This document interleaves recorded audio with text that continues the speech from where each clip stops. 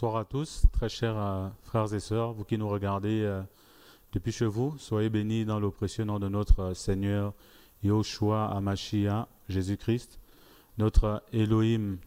Donc voilà, nous sommes aujourd'hui lundi et donc nous nous retrouvons dans le cadre de l'émission Réveillez-vous. Donc il est 16 h différemment de d'habitude. Aujourd'hui, on a décidé de commencer l'émission à 16 h pour pour des raisons internes. Et donc, euh, que le Seigneur soit béni. Et euh, nous voulons partager rapidement une courte exhortation avec vous euh, pour nous encourager, pour vous encourager, pour être tous encouragés par le Seigneur par rapport à son œuvre, par rapport à nos cœurs, par rapport à nos vies, par rapport à la vision du Seigneur pour son Église, pour son peuple, pour chacun d'entre nous. Donc sans plus tarder, on va recommander ces moments entre les mains du Seigneur et pouvoir commencer le partage. Père très saint, tu es digne, tu es grand, tu es excellent, tu es magnifique. Merci pour ton amour. C'est toujours une joie et aussi en même temps une charge, une responsabilité que de parler de toi. Seigneur, nous n'avons pas d'autre parole que la tienne. Nous ne pouvons être conduits que par ton Esprit Saint et c'est ce que nous souhaitons, c'est ce que tu désires. Prends le contrôle de ces moments, Seigneur. Parle par moi, parle en moi, Seigneur, Père. Instruis-moi pendant que tu parles par moi, Seigneur. Instruis mes frères, mes sœurs qui regardent. Au nom de Yahushua, Seigneur, ouvre les yeux, nos yeux de ton Église, Seigneur, pour que nous puissions être davantage éclairés par ta grâce au nom puissant de Yahushua Amashia. Amen. Donc voilà, frères et sœurs, euh, le thème de l'exhortation que je voudrais partager avec, euh, avec vous, c'est l'Église sociale. Hein, ou euh, le social dans l'église, si vous voulez. Le, social dans l'église, c'est mieux. Parce que l'église sociale, ça peut ressembler à une église qui, qui s'est socialisée, comme beaucoup d'assemblées qui se sont socialisées, c'est-à-dire qui prêchent un évangile social. Non, ce n'est pas ce que nous voulons dire. Parlons du travail social de l'église. Voilà.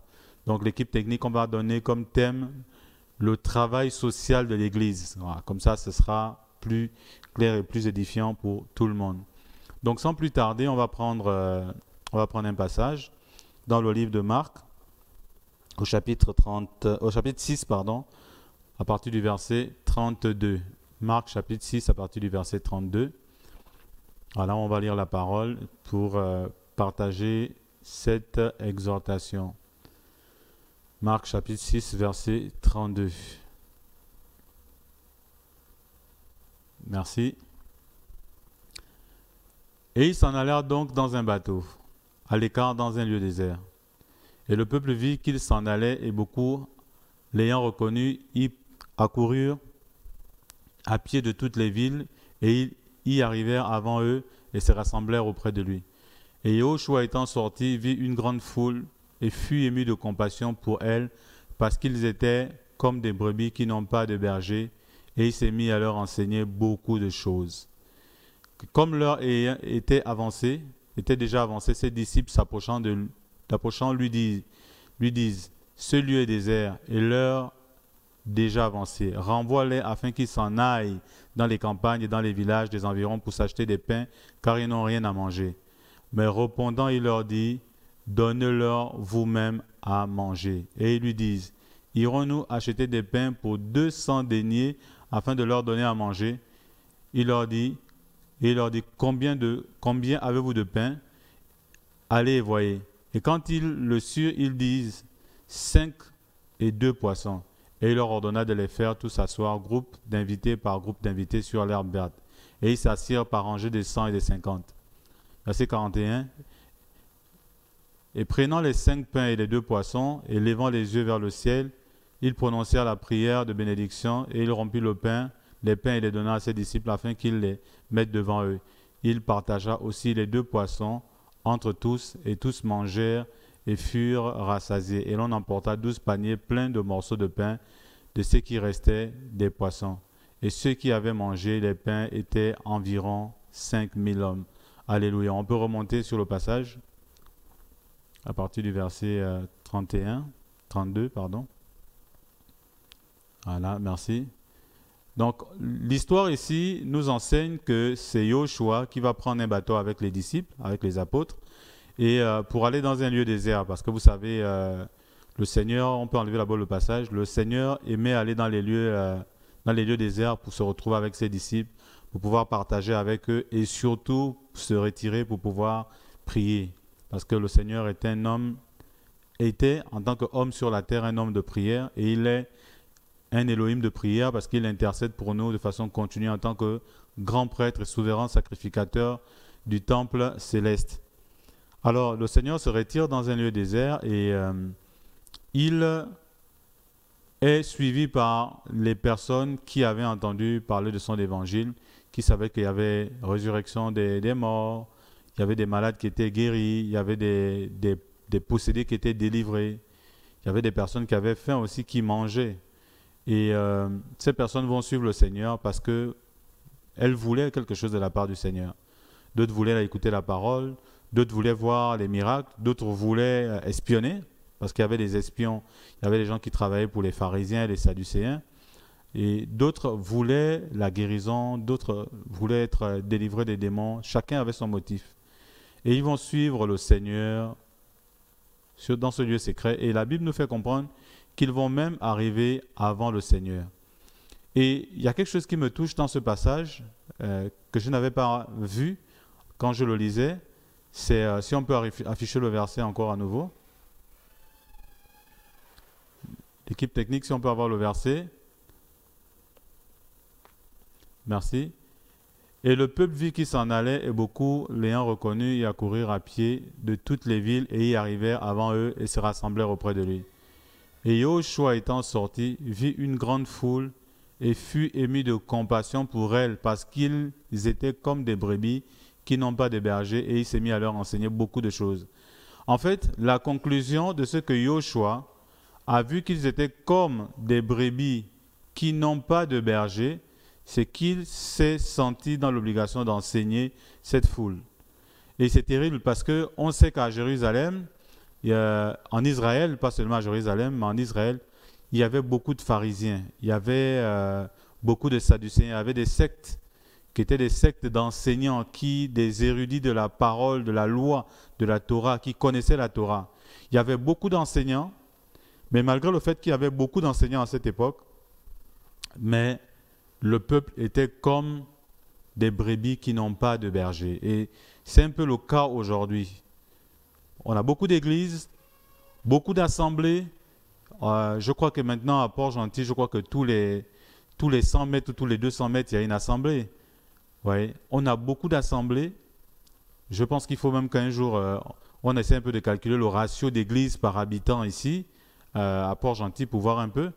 Mais on a beaucoup d'églises. Mais le problème, c'est qu'on constate qu'il n'y a pas d'action de la part de l'Église. L'Église est muette.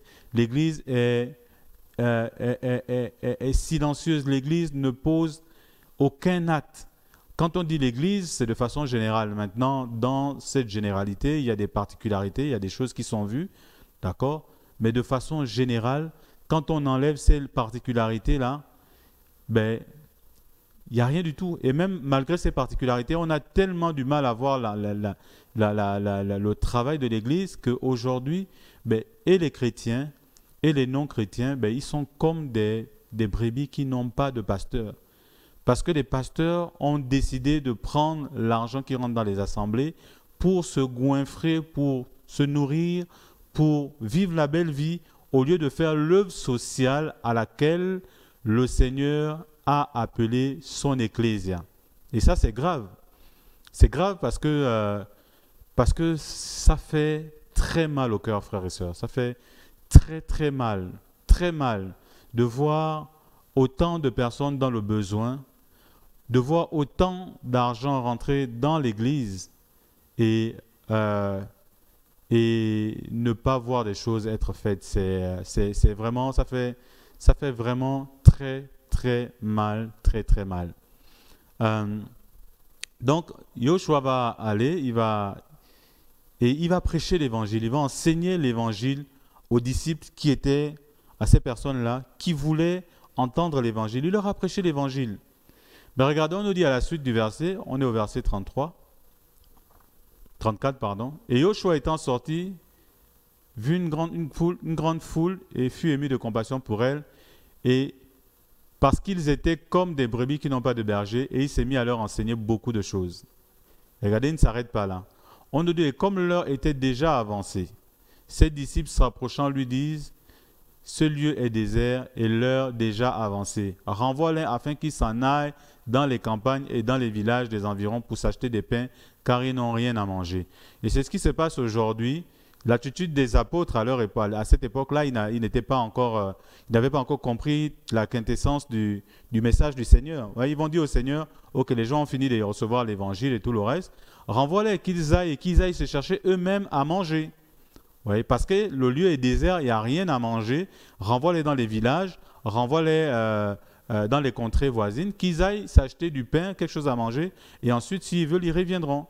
Et c'est ce que nous vivons aujourd'hui dans les temps présents, c'est qu'on a des gens qui sont dans les églises, qui sont euh, à fond dans tous les programmes de leurs églises, qui balaient la salle, qui font des choses, qui font des choses, mais en contrepartie, ils ne reçoivent rien de la part de l'Église. On ne parle pas ici d'un salaire on parle de l'aide que l'Église peut apporter. cette aide, elle est multiforme. Et on va en parler euh, tout à l'heure par la grâce du Seigneur.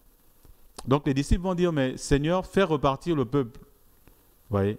Et à la suite du passage, à la suite du passage, la Bible nous dit, mais répondant, il leur dit, ça c'est Yoshua qui parle, donnez-leur vous-même à manger. Donc Yoshua demande à ses disciples que nous sommes, de donner nous-mêmes à manger aux disciples qui viennent pour entendre la parole de Yoshua, notamment à ceux qui ont la charge de diriger le peuple du Seigneur, les pasteurs, les anciens, les diacres, euh, les évangélistes, les prophètes, les apôtres, toutes ces personnes qui ont la charge, qui travaillent dans la, dans la, dans la direction des églises, d'accord Ou dans des visions, ont la charge, la responsabilité de s'occuper, de nourrir les frères et sœurs que le Seigneur leur envoie, pour que ces frères soient non seulement formés, selon Éphésiens 4, afin qu'eux aussi, ils soient préparés à rentrer dans leur service, dans leur ministère, mais cette préparation-là, ce n'est pas seulement la connaissance de la parole, c'est toute une vie. C'est pourquoi en Israël, les disciples vivaient avec leur maître, parce qu'ils apprenaient la vie du maître. Ils devaient observer comment leur maître faisait. Ils devaient voir comment leur maître pratiquait la Torah, comment il vivait la Torah, comment il était obéissant au Seigneur, son degré de consécration. Et c'est cette vie-là que le maître transmettait à ses disciples. Vous voyez, on a l'exemple de Géasi qui était avec Élisée. On a l'exemple d'Élisée qui était avec Élie. On a l'exemple de, de, de Joshua, Josué qui était avec euh, Moshe, avec Moïse. Vous voyez, on a l'exemple de Pierre qui était avec Jean le Baptiste et qui par la suite a été avec Yoshua. Vous voyez, ces gens-là, c'est des gens, ils ne sortent pas de nulle part. Ils ont été au pied de quelqu'un pour apprendre. Et ce qu'ils ont appris, ce n'est pas simplement la connaissance. Vous voyez, par exemple, Yoshua va dire à Pierre, il va prendre des disciples, il va dire, venez, je vais vous laver les pieds. Et Pierre va dire, non, Seigneur, toi, me laver les pieds. Il dit, je refuse. Et Yoshua va lui dire, si je ne te lave les pieds, tu n'auras tu n'auras pas de part ni d'héritage avec moi. Et il va accepter. Donc il y a une vie, il y a la transmission de quelque chose qui est faite. Alléluia. Il y a la vie qui est transmise. Donc la, formation des disciples, la formation des chrétiens, des frères et des sœurs ne consiste pas simplement à les amener et à leur bourrer le crâne avec des versets bibliques. Non. C'est toute une vie qu'il faut transmettre, c'est une façon de vivre, c'est une façon de se comporter, c'est une façon d'agir, de parler, de regarder, de d'écouter, de juger les affaires. C'est une façon d'élever ses enfants, c'est une façon de se conduire avec sa femme, c'est une façon d'être un modèle dans sa famille, dans sa société, c'est une façon d'être avec ses voisins, c'est une façon d'être de façon générale. Qu'en tant que dirigeant dans les assemblées, on doit avoir. Vous voyez Et Yoshua va dire aux disciples, donnez-leur vous-même à manger. Et regardez l'attitude des disciples. On était au verset 35. 37. Et ils lui disent, Irions-nous acheter des pains pour 200 deniers afin de leur donner à manger? Il pose la question. En fait, la question ici veut dire que la question qu'il pose ici, c'est simplement pour dire au Seigneur que les 200 deniers qu'on a ne suffiront pas pour acheter du pain pour toutes ces personnes, parce que tout en bas, on nous fait comprendre qu'il y avait quand même 5000 personnes. Il y avait 5000 personnes, mais il n'y avait que 200 deniers. Donc non seulement il fallait à la ville, aller à la ville, aller acheter la nourriture pour 200 deniers, donc du pain, revenir, mais ça n'aurait pas suffi. Qui aurait mangé Qui n'aurait pas mangé? Mais le Seigneur, sachant toutes ces choses, leur dit à l'avance, donnez-leur vous-même à manger. Et c'est la parole du Seigneur aujourd'hui pour l'Église. Donnez à manger aux gens qui souffrent, Église. Chrétiens, donnez à manger à ceux qui souffrent autour de vous. Beaucoup de chrétiens, chaque mois, prennent de leur argent, des dîmes, pour aller donner dans les assemblées, où en plus, dans ces assemblées, rien n'est fait avec cet argent. Frère, regardez dans la ville de Port-Gentil, combien d'églises ont un orphelinat, un centre d'accueil. Combien d'églises ont un centre d'accueil pour s'occuper des veuves. Combien d'églises ont dans leur rôle des veuves, non seulement dans l'église, mais à l'extérieur dont ils ont la charge Combien d'églises ont scolarisé des enfants? Des enfants qui ont été scolarisés, suivis jusqu'à être diplômés et qui aujourd'hui sont là, sont les fruits du travail du Seigneur par l'Assemblée. Combien de chrétiens font ce travail? Des chrétiens faire prendre leur argent, aller donner les dîmes dans les assemblées pour des pasteurs qui sont en train de s'enrichir, de s'engraisser, qui sont devenus dodus avec l'argent des disciples, des enfants de Yoshua. Et ça, c'est pas correct. Or, la Bible nous fait comprendre que ces personnes-là, elles doivent aussi travailler. La Bible nous dit, si quelqu'un ne travaille pas, mais qu'il ne mange pas non plus. Donc, on ne peut pas vouloir manger, avoir une belle vie et ne pas travailler. Ce n'est pas possible. Vous voyez? Donc, les chrétiens aujourd'hui prennent de leur argent et vont déposer cet argent-là au pied de leurs apôtres, prophètes, anciens, diacres. Et cet argent ne sert à rien aujourd'hui dans les églises. Il y a des chrétiens qui donnent la dîme, leurs propres enfants souffrent à la maison. Il y a des chrétiens qui donnent la dîme, leurs propres parents souffrent, ils n'aident pas. Évidemment, on ne peut pas aider tout le monde, c'est clair, parce que les moyens sont limités. C'est clair aussi qu'il y a des parents, on veut leur tendre la perche pour leur donner des moyens de s'en sortir, qui refusent. Parce que l'objectif, quand on parle d'aider, c'est d'aider de façon ponctuelle pour aider quelqu'un à sortir d'une situation, mais c'est mettre en place des plans d'autonomisation. C'est-à-dire un jeune qui était dans la délinquance, l'aider à sortir de la délinquance.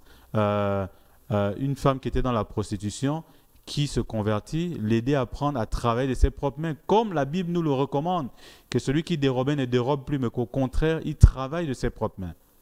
C'est ça le travail de l'Église. Des orphelins qui ont été abandonnés, mais qui ont un certain âge, qui peuvent travailler, qui peuvent mettre en place une activité, trouver un capital, les aider, les accompagner dans cela, former des jeunes filles qui, qui, sont là, qui ont, qui ont fait des erreurs, qui ont fait des enfants euh, par erreur, euh, elles sont allées coucher avec un homme, elles ont perdu leur virginité, elles sont tombées enceintes, euh, elles n'ont pas pu continuer les études. On peut les former, leur apprendre la couture, leur apprendre plein de choses, l'informatique, le secrétariat. on peut leur apprendre la cuisine, on peut leur apprendre à faire des tresses, à faire la manicure. On peut apprendre beaucoup de choses. Mais l'Église, aujourd'hui, est inefficace. Je passais hier à Bac Aviation j'ai vu la pancarte d'une église et euh, j'avais, mal au cœur. Ils avaient programme lundi, mardi, mercredi, jeudi, vendredi et samedi. Le seul jour dans la pancarte de cette église où il n'y avait pas de programme, c'était le dimanche. Et vous voyez, c'est ça le mal de l'église. Quand l'église, les chrétiens sortent du travail, pour ceux qui travaillent, ceux qui ont la grâce de travail, sortent de leur boulot, par exemple, comme, maintenant on travaille jusqu'à 15 heures à cause de la situation du Covid-19, quand quelqu'un sort à 15 heures de son travail, bon, on va se mettre dans le cas de la situation normale de l'époque. On sort du travail à 15h30. Pour ceux qui ont la chance de sortir à 15h30, d'autres sortent à 16h, 17h. Il rentre à la maison, il fait à manger rapidement à ses enfants. Comme il y a la réunion à 18h, ben à 17h, il est parti, le temps de marcher ou de prendre le taxi, d'arriver, de pouvoir discuter un peu avec d'autres frères. Et on sort de la réunion, il est 20h. Après, il y a le point à faire, il y a parfois des cas de délivrance. La personne rentre à la maison, il est 21h. Parfois, elle n'a même pas le temps de s'occuper des devoirs des enfants. Elle n'a même pas le temps de s'occuper de faire à manger à son mari. Ou le mari, le temps de s'occuper pour parler avec sa femme, parler avec ses enfants, prier avec ses enfants. Et encore pire, constater même tout ce qui se passe autour de nous. Puisque du lundi au samedi, la personne est occupée par des activités dans un bâtiment dit église. Vous voyez Donc, on n'a plus le temps de regarder, de s'occuper, d'avoir un regard sur son voisin. C'est plus possible. Parce que l'Église a perdu le sel. L'Église a perdu la vision. Vous voyez L'Église a perdu la vision. Et regardez à la suite de ce passage. Qu'est-ce qui va se passer? Regardez ce que Yoshua va faire. La Bible nous dit, verset 38, et il leur dit, combien avez-vous de pain? Allez et voyez. Et quand ils le surent, ils disent, cinq pains et deux poissons. Waouh 5000 personnes, frères et sœurs, vont être nourris avec cinq pains et deux poissons. 5000 personnes. Je ne sais pas quelle était la taille des pains à l'époque. Je ne connais pas. Mais à supposer que c'était même un pain que 10 personnes pouvaient manger, hein, que le pain était suffisamment gros, parce que ça m'étonnerait aussi que ce soit des pains, qu'un seul pain pouvait nourrir 1000 personnes. Sinon, euh, les apôtres n'auraient pas pu le soulever. Il devait être tellement lourd. Donc, c'était des pains, voilà, c'était des pains ronds là, sous forme de pâte, là, qu'on voit un peu euh, dans la culture, euh, la, voilà, culture, la culture juive, voilà.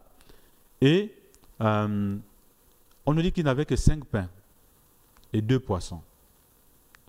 Et Yoshua va multiplier ce qu'ils avaient pour pouvoir nourrir les pauvres. Qu'est-ce qu'on peut comprendre derrière cela? On peut comprendre que le Seigneur se sert de ce que nous avons entre les mains. Alléluia. Le Seigneur se sert de ce que nous avons entre les mains pour multiplier. Regardez, on va prendre un passage pour pouvoir prouver cela. On va prendre Exode chapitre 3. Exode chapitre 3, on va lire à partir du premier verset. Exode 3 à partir du premier verset. Oh, magnifique Seigneur. Or, Moshe fut berger du troupeau de Yitro, son beau-père, prêtre de Madian. Il conduisit le troupeau derrière le désert et vint à la montagne d'Élohim à Horeb. Et l'ange de Yahweh lui apparut dans une flamme de feu, du milieu d'un buisson. Il regarda et voici le buisson était tout en feu et le buisson ne se consumait pas.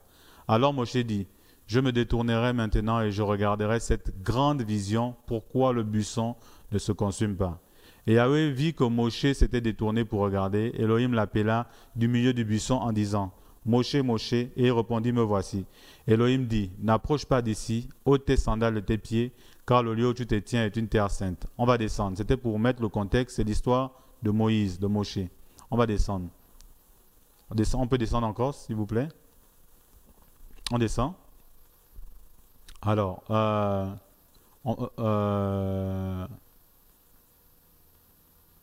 alors on remonte légèrement, pardon. Euh, ok. On va lire à partir du verset 10. Maintenant donc viens, je t'enverrai vers Pharaon et tu feras sortir mon peuple, des enfants d'Israël, hors d'Égypte. Et Moshe répondit à Elohim, Qui suis-je moi pour aller vers Pharaon et pour faire sortir de l'Égypte les enfants d'Israël? Et Elohim lui dit, Va, car je suis avec toi, et voici quel sera pour toi le signe que c'est moi qui t'envoie quand tu auras fait sortir mon peuple d'Égypte. Vous servirez Elohim sur cette montagne. On descend la suite. Et Moshe dit à Elohim, voici, quand j'irai vers les enfants d'Israël et que je leur aurai dit, l'Elohim de vos pères m'a envoyé vers vous, ils me disent, s'ils me disent quel est son nom, que leur dirai-je? Et Elohim dit à Moshe, je suis qui je suis. Il dit aussi, tu parleras ainsi aux enfants d'Israël, je suis m'a envoyé vers vous. Elohim dit encore à Moshe, l'Elohim de vos pères, l'Elohim d'Abraham, l'Elohim d'Isaac, l'Elohim de Jacob m'a envoyé vers vous. C'est là mon nom pour l'éternité, c'est là mon souvenir d'âge en âge. Va et rassemble les enfants d'Israël, les anciens d'Israël, euh, les anciens d'Israël, et dis-leur, Yahweh, l'Elohim de vos pères, l'Elohim d'Abraham, de et de Jacob, m'est apparu en disant, je vous ai visité, et je vous ai, je visité à cause de ce qu'on vous fait en Égypte. On descend. On descend. Alors, euh, euh, on descend. Voilà. Euh, voilà. C'est au chapitre 4, merci. Et Moshe répondit et dit, mais voici, ils ne me croiront pas et n'écouteront pas ma voix, car ils diront, Yahweh n'était pas apparu. Et Yahweh dit, lui dit, qu'est-ce que tu as dans ta main? Donc, Moshe avait quelque chose dans ta main.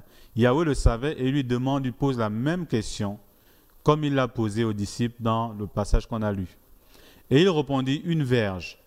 Et Elohim lui dit, jette-la par terre. Et il la jeta par terre et elle devint un serpent. Vous voyez, donc le Seigneur travaille toujours avec ce qu'on a. Merci. On peut revenir sur le passage de Luc, de, Marc euh, chapitre 6, pardon. Le Seigneur travaille toujours avec ce que nous avons. Eux, dans leur cas, ils avaient cinq pains et deux poissons. C'était avec ces cinq pains et ces deux poissons que le Seigneur avait travaillé et avait multiplié. Ça veut dire que pour commencer une œuvre du Seigneur, on ne doit pas attendre d'avoir énormément de moyens. Frère, sœur, tu, as tu achètes ton sac de riz de 50 kilos. Tu as ton voisin qui souffre. Si tu peux lui donner un kilo chaque fin du mois, fais-le. C'est ta part. Et prie le Seigneur, Seigneur, je veux aider ce voisin donne-moi les moyens, touche des personnes, partage la vision autour de toi. Et tu verras, le Seigneur va susciter des personnes au fur et à mesure qui pourront te donner de l'argent pour faire ce travail d'aider les pauvres autour de toi. Voyez? Et l'Église aujourd'hui a perdu son efficacité. Pourquoi? Parce que les chrétiens passent du temps beaucoup dans les églises et ils ne font que ce que leur pasteur leur demande de faire.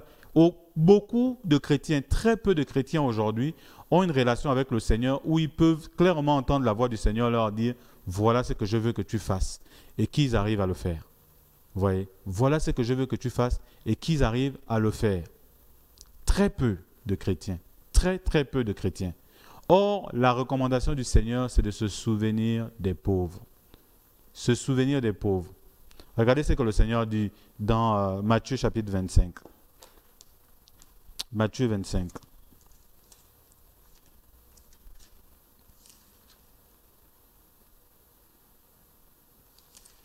Matthieu 25. À partir du verset 31. Matthieu 25 à partir du verset 31. Frère, l'évangile, ce n'est pas simplement aller dans les églises, se réunir. Comment c'était la réunion? C'était puissant. C'était puissant comment? Non, les gens sont tombés, les gens ont roulé, il y a eu des démons. Oui, frère, c'est un pan de l'évangile, mais ce n'est pas ça tout l'évangile. Et quand le Fils de l'homme viendra dans sa gloire, et accompagné de tous les saints anges, alors il siégera sur le trône de sa gloire. Et toutes les nations seront rassemblées devant lui. Et il séparera les uns d'avec les autres, comme le berger sépare les brebis d'avec les boucs.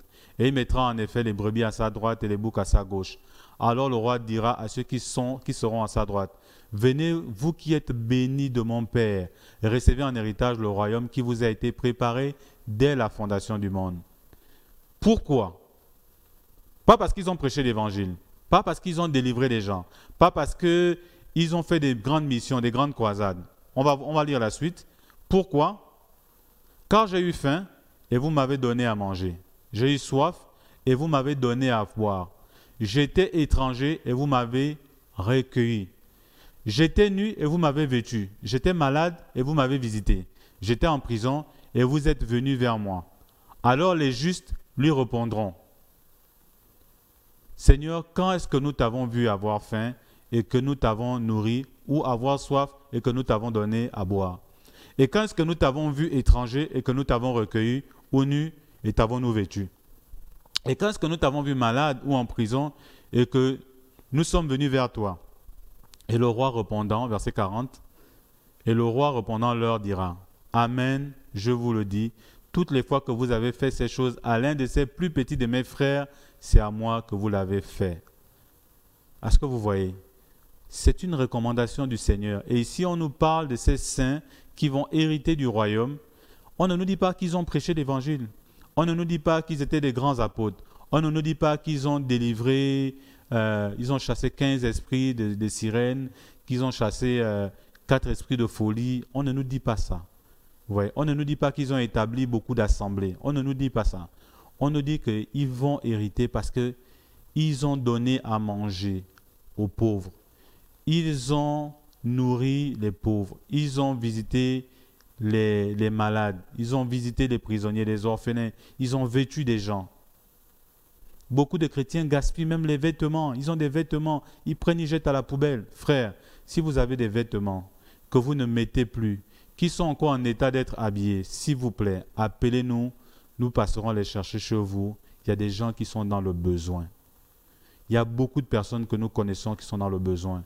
Et justement, en fait, le Seigneur m'a vraiment mis la pensée d'introduire cette émission parce que euh, parce que c'est vraiment un gros besoin, vous voyez, d'enseigner et de partager ces choses aux frères et aux sœurs.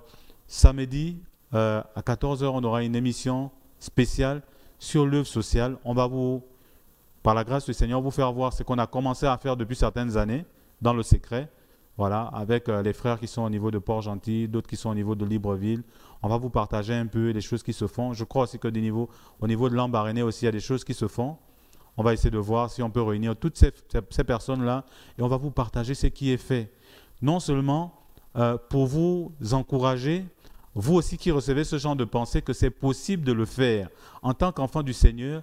Vous, il y en a qui sentent ces choses dans leur cœur, qui, mais ils ne savent pas comment commencer. Donc l'objectif aussi de cette émission, c'est au travers des témoignages, comment les autres ont commencé, les combats qu'ils ont vécus, les difficultés, et la main du Seigneur qui a toujours été derrière là, sera aussi de pouvoir enseigner ceux qui ne savent pas comment commencer ceux qui ont commencé, qui se sont arrêtés en chemin parce qu'ils ont été découragés, aussi de leur montrer que c'est normal d'être combattu, d'avoir des, résistances, d'avoir parfois des moments de faiblesse, mais que le Seigneur est dedans. Et aussi pour que les chrétiens comprennent que c'est notre rôle. C'est notre rôle. Regardez, on va, on va prendre un passage dans Galates chapitre 2. Merci Seigneur. Galates chapitre 2. On va lire à partir du verset euh, verset 1, euh, pour mieux comprendre le, sens. Galates chapitre 2 à partir du verset 1. Raison pour laquelle, 14 ans après, je montais de nouveau à Jérusalem avec Barnabas et je pris aussi avec moi Titos.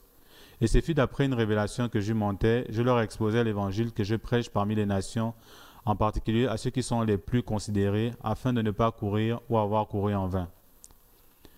Mais Titos, qui était avec moi et qui est grec, n'a même pas été contraint de se faire circoncire. Mais à cause des faux frères qui s'étaient furtivement introduits et glissés parmi nous, pour épier la liberté que nous avons à Yahushua Mashiach, afin de nous réduire en esclavage. Mais nous, nous n'avons pas cédé un seul instant à cela, et nous ne sommes pas soumis afin que la vérité de l'Évangile soit maintenue parmi vous.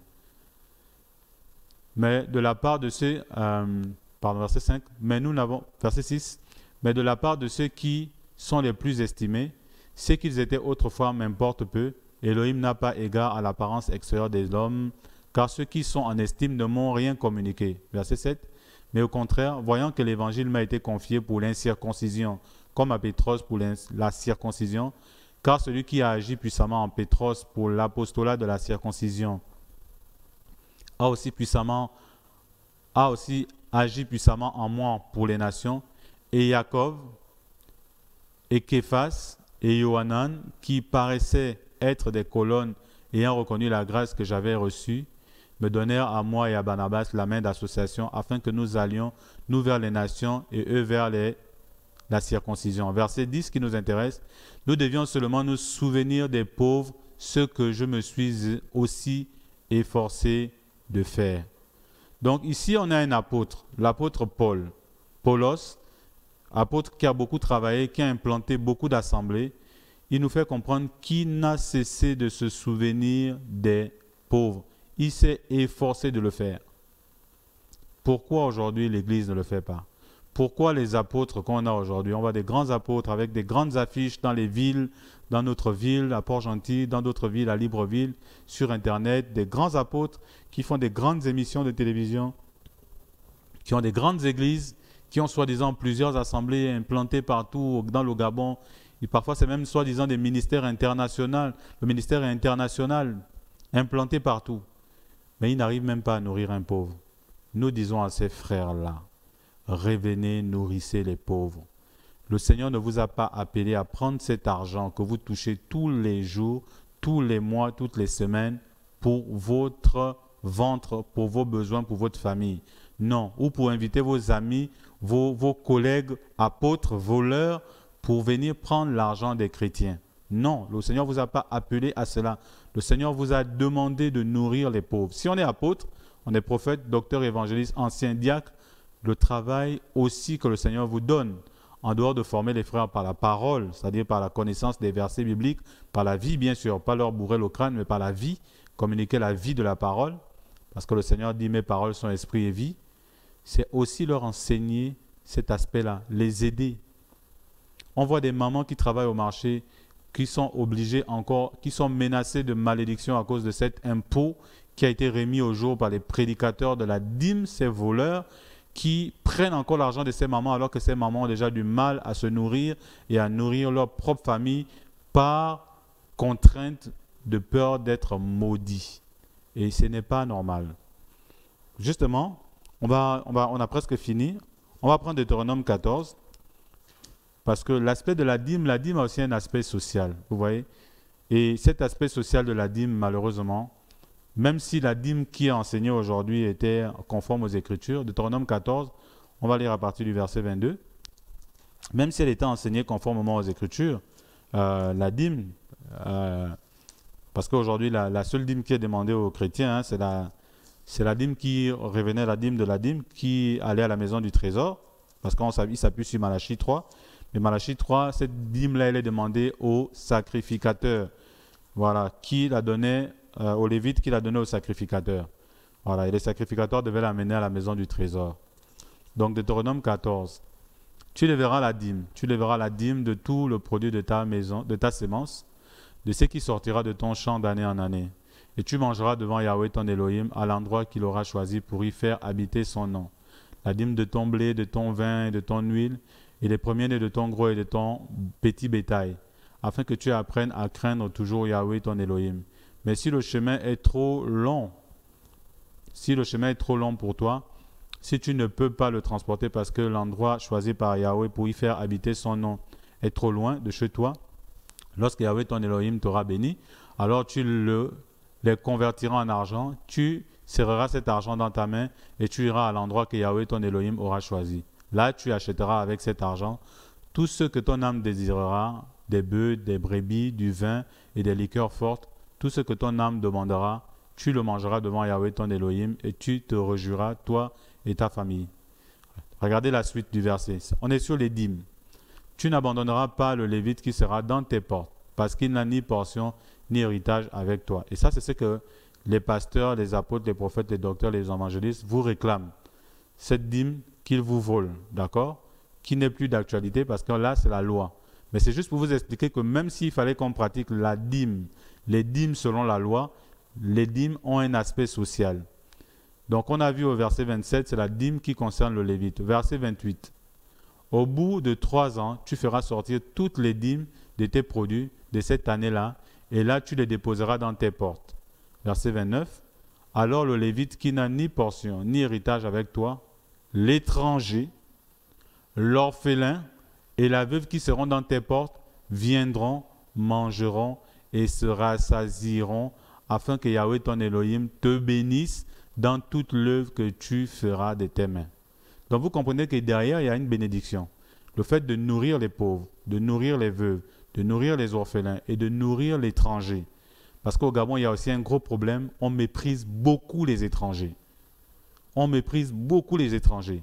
On insulte les étrangers. Frères, si vous avez l'occasion de voyager, ceux qui ont l'occasion de voyager, parfois beaucoup d'étrangers qui sont là, vous voyez, ils ont quitté leur pays, pas parce que le Gabon est meilleur que leur pays. Hein. Ils ont quitté simplement parce qu'il y a peut-être plus d'opportunités. Mais en termes d'infrastructure, ils n'ont pas envié le Gabon. Quand un Ivoirien vit au Gabon, il n'a pas forcément envié le Gabon. Vous voyez Voilà, donc euh, quand un Sénégalais vit au Gabon, il n'a pas sur le plan, le plan structurel, euh, le plan des infrastructures, le Sénégal n'a pas forcément envie au Gabon. Vous voyez Donc, euh, il y a beaucoup de mépris au Gabon vis-à-vis des étrangers et même les chrétiens tombent là-dedans. Et le Seigneur n'aime pas ces choses. Donc, on voit ici dans la Bible que hein, la dîme avait un aspect social. Si on peut remettre le passage à l'écran, s'il vous plaît. La dîme avait un aspect social. Il y avait un aspect social dans la dîme.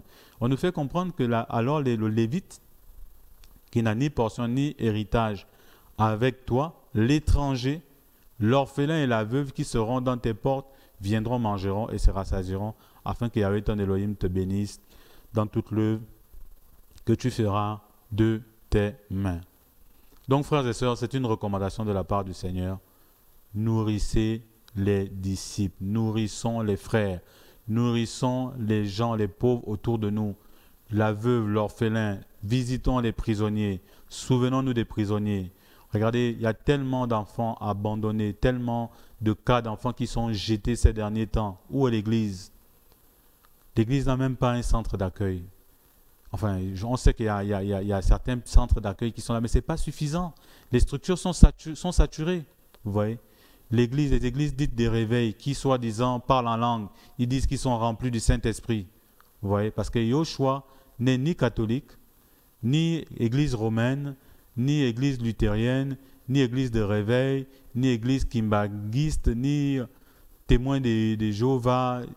Yoshua n'est pas religieux. Yoshua, il est esprit et il habite dans le cœur de ses véritables enfants. Vous voyez? Et les véritables enfants du Seigneur, où est le travail, où est l'œuvre? Où sont les orphelinats? Où sont les centres d'accueil? Où sont euh, les dispensaires pour soigner les personnes qui sont malades Où sont Où est l'église? Une maison d'accueil, il, y a des, vieux qui sont rejetés ici parce que soi-disant jetés par leur famille parce que ce sont des sorciers. On ne leur donne plus à manger. Où est le travail de l'église? Même les catholiques font mieux ce travail que des assemblées dites de réveil. Et c'est comme ça qu'on dit qu'on va impacter le Gabon, comme ça qu'on dit qu'on va vivre le réveil. Quel réveil? Le réveil des faux prophètes, oui. Le réveil de la fausse église. Le réveil de l'ivraie. Mais le blé est endormi, le blé est étouffé par l'ivraie. Frère, réveillons-nous. Réveillons-nous. Réveillons-nous. Frère, moi, moi j'aime vraiment faire les simulations. Vous voyez, j'aime vraiment faire les simulations. Si on peut m'aider avec la calculatrice. Si on peut vraiment m'aider, frères et sœurs, avec la calculatrice. Vous voyez si on peut m'aider avec la calculatrice, pour montrer aux frères qu'il y, y, a des choses qu'on peut faire. On peut faire plein de choses, frères et sœurs, si l'Église a une vision et se mobilise. Le problème, c'est qu'aujourd'hui, beaucoup de dirigeants ont perdu la vision. Alors, on va supposer que chaque chrétien peut donner 5 000 chaque fin du mois. 5 000 chaque fin du mois. Alors, si il y a 1000 chrétiens, ça fait combien? Ça fait 5 millions.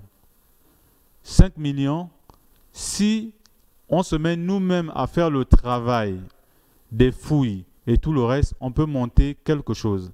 Bon, maintenant, multiplions ça par 5 mois. En 5 mois, 25 millions, c'est un orphelinat qui est monté, c'est une maison d'accueil montée avec des lits et tout le reste pour accueillir des enfants chrétiens.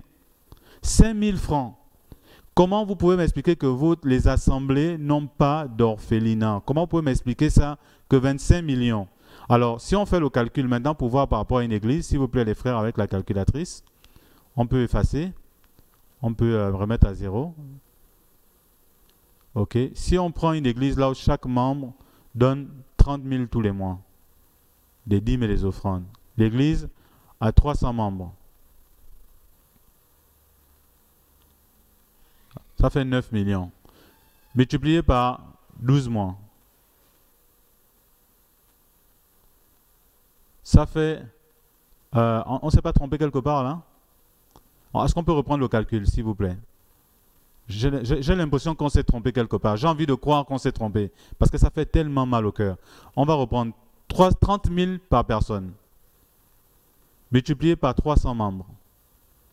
Parce qu'il y a des assemblées comme ça ici à Port-Gentil. Ça fait 9 millions multiplié par 12. Oh Seigneur, c'est ça, mon Dieu. 108 millions. Regardez, chrétiens. Si vous êtes dans une église qui a cette configuration, qu'en moyenne les chrétiens donnent 30 000 par mois, dîmes, offrandes mélangées, offrandes du prophète, ces inventions diaboliques qui ont été faites, offrandes de bénédiction, actions de grâce, sans compter les programmes, sans compter les ventes des CD, alors qu'on ne doit pas vendre l'évangile. Sans compter les délivrances qui sont payantes, alors qu'on ne doit pas payer pour la délivrance. Tout cet argent qui rentre là. Mais vous ne voyez pas qu'il y a un problème, vous ne voyez pas qu'on vous arnaque, vous ne voyez pas que la vision est perdue, vous ne voyez pas que le Seigneur n'est pas dedans Chrétien, réveillez-vous. Réveillez-vous, frères et sœurs. Réveillons-nous, réveillons-nous. Il y a des choses à faire pour le Seigneur, frères et sœurs. Il y a des choses. Et ce samedi, à partir de 14h, on va vous présenter le travail qui est fait et ensuite on va vous proposer, on va vous présenter les projets que nous avons, frères et sœurs. Voyez, si vous avez à cœur de contribuer, vous pourrez contribuer, frères. Au lieu de donner l'argent dans des assemblées où les pasteurs sont en train de s'engraisser, on va vous faire voir tout le travail qui est fait Euh, et après, on aura l'occasion de faire une émission pour vous présenter un peu tout le travail qui se fait ici par rapport à la chaîne de télévision. Partager aussi un peu la vision, comment elle a commencé, des différentes difficultés, les combats que nous avons eus et à chaque fois comment nous avons été encouragés par le Seigneur et où est-ce que le Seigneur nous demande d'aller. On aura l'occasion de vous partager ça. Pas ce samedi, ultérieurement, mais samedi, on aura une émission sur l'œuvre sociale, frère. Regardez, il y a des choses à faire. Il y a des choses à faire. Est-ce qu'on peut réafficher la calculatrice? Euh, c'est, c'est, Ça fait mal. Vous voyez? Ça fait vraiment mal. Ça fait vraiment, vraiment, vraiment mal, frères et sœurs. Donc vraiment, on a à cœur, avec les frères et sœurs, de, de, de, mettre en place des projets que le Seigneur nous met à cœur depuis des années. On a commencé à travailler au fur et à mesure avec la grâce que le Seigneur nous donne.